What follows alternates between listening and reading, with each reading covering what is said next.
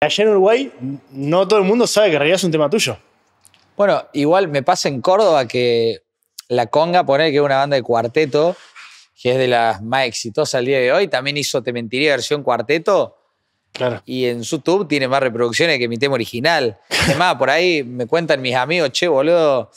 Mi amigo me dijo, che, mirá, escuchaste Te Mentiría de la Conga, boludo. ¿En Dice, serio? "Ah, De Facu, boludo. ¿Qué quiere Facu? ¿Lucra?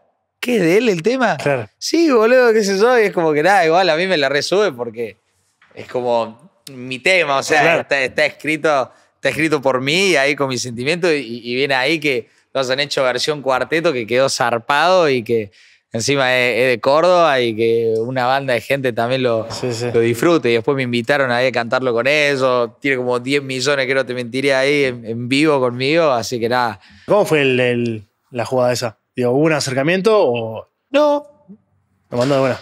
Eh, ah, sí, eh, habíamos hablado, qué sé yo, y dijimos, sí, obvio, andale.